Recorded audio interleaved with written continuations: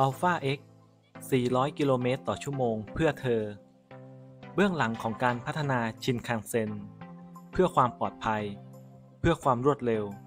เป็นมิตรต่อสิ่งแวดล้อม และสะดวกในการบำรุงรักษา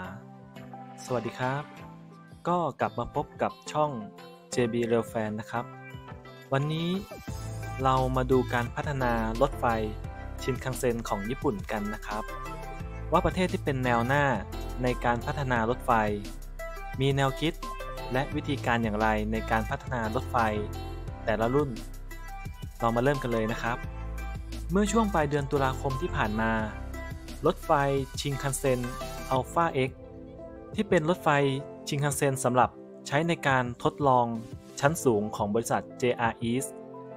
ได้ทำการทดลองเดินรถในเวลากลางวันครั้งแรกในโตเกียว ซึ่งปกติรถไฟชิงคันเซ็นอัลฟา X จะทำการทดลองเดินรถในเวลากลางคืน เพื่อหลีกเลี่ยงกับขบวนรถปกติที่ส่วนใหญ่เดินรถในเวลากลางวัน ซึ่งการที่ Alpha X เดินรถในเวลากลางวัน กลางกรุงโตเกียวครั้งนี้นั้น ก็ทำให้เราได้ชมภาพอันสวยงามของเจ้า Alpha X อย่างชัดเจน ด้วยสีสันอันโดดเด่นเฉพาะตัว และเอกลักษณ์ของตัวรถที่มีด้านหน้าหรือจมูกที่ยาวถึง 22 เมตร สามารถวิ่งด้วยความเร็วถึง 400 กิโลเมตรต่อชั่วโมงทำความรู้จัก Alpha X กันหน่อย เรามาทำความรู้จักกับรถไฟชินคันเซ็น Alpha X กันนะครับ โดย Alpha X ชื่อนี้ย่อมาจาก Advanced Lab for Frontline Activity in Rail Experimentation เป็นรถไฟชินคันเซ็นที่ใช้ในการทดลองชั้นสูง เพื่อใช้ในการพัฒนารถไฟชินคันเซ็นในรุ่นต่อ ๆ ไป ของบริษัท JR East โดย Alpha X เป็นรุ่น Class E 956 เปิดตัวครั้งแรกเมื่อ 9 พฤษภาคม 2562 เริ่มออกมาทำการทดลองเมื่อ 26 ธันวาคม 2562 โดย Alpha X ถูกสร้างขึ้นมา เพื่อตรวจสอบการพัฒนาเทคโนโลยี เพื่อวัดการปรับปรุงประสิทธิภาพ ด้านสิ่งแวดล้อม และเหตุการณ์แผ่นดินไหว รวมถึงความสะดวก สบาย และการบำรุงรักษา นอกเหนือจากการเพิ่มความเร็ว หลักการในการพัฒนาชินคันเซ็นรุ่นต่อไป Alpha X เป็นรถไฟ ที่ใช้สำหรับการทดลอง เพื่อใช้ในการพัฒนารถไฟรุ่นต่อไป ซึ่งมี 4 หลักการที่ใช้ในการพัฒนาคือ 1. เน้นความปลอดภัยและความมั่นคง โดยติดตั้งอุปกรณ์ที่พัฒนาขึ้น เพื่อหยุดรถให้เร็วขึ้น และป้องกันการตกราง ในกรณีเกิดแผ่นดินไหว ความปลอดภัยของอุปกรณ์ โดยการตรวจสอบอุปกรณ์แต่ละชิ้น ปรับปรุงคุณภาพ คาดการและป้องกันการเสียหายที่อาจเกิดขึ้นทำโครงสร้างรถให้ทนต่อความเย็น และลดการสะสมของหิมะ 2. ความสะดวกสบาย โดยตอบโจทย์กับความต้องการที่หลากหลาย และตอบสนองได้อย่างคล่องตัว เช่น ติดตั้งอุปกรณ์ช่วยลดการแกว่งของรถ โครงสร้างของรถที่มีการดูดซับเสียง มีฉนวนกันเสียงทำให้ภายในห้องโดยสารมีความเงียบเหมือนอยู่บ้านหรือที่ทำงาน ปรับปรุงความเร็ว ในการให้บริการเชิงพาณิชย์ที่ 360 กิโลเมตรต่อชั่วโมง โดยการพัฒนาตรงนี้ต่อไปในอนาคต เราจะได้นั่งชินคันเซ็นที่วิ่งให้บริการด้วยความเร็ว 360 กิโลเมตรต่อชั่วโมง 3. เป็นมิตรกับสิ่งแวดล้อม โดยปรับปรุงประสิทธิภาพ โดยพัฒนาให้ลดการปล่อยเสียงรบกวนจากช่วงล่างของรถ ปรับปรุงรูปร่างของรถ เพื่อลดเสียงรบกวนเมื่อเข้าไปในอุโมงค์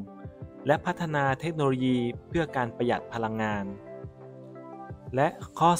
4. ความสะดวกในการบำรุงรักษา โดยมีอุปกรณ์ที่ใช้ในการตรวจสอบทั้งภาคพื้นดิน และในตัวรถ เพื่อช่วยให้มีการบำรุงรักษาได้อย่างถูกต้องแม่นยำ โดยรถไฟชินคันเซ็นอัลฟา X มีจำนวนทั้งหมด 10 คัน คันที่ 1 ถึงคันที่ 6 ผลิตโดย Kawasaki Heavy Industry ส่วนคันที่ 7 ถึงคันที่ 10 ผลิตโดย Hitachi โดยมีลักษณะเด่นที่สุดก็คือ มีด้านหน้าหรือจมูกที่ยาวที่สุดในบรรดารถไฟชินคันเซ็น โดยรถไฟชินคันเซ็น รุ่น E5 มีด้านหน้าที่ยาวเพียง 15 เมตร ส่วน Alpha X คันที่ 1 จะมีด้านหน้ายาวออกมา 16 เมตร และคันที่ 10 มีด้านหน้ายาวถึง 22 เมตร ส่วนด้านหน้าที่ยาวออกมา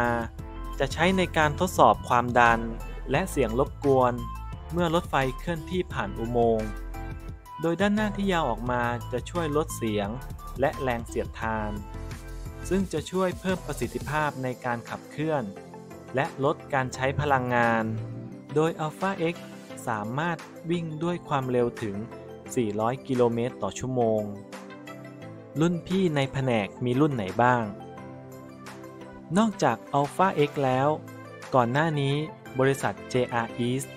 ยังมีรถไฟทดลองอีก 2 รุ่นคือ 1. Star 21 โดยทดสอบระหว่างปี คศ 1992 ถึง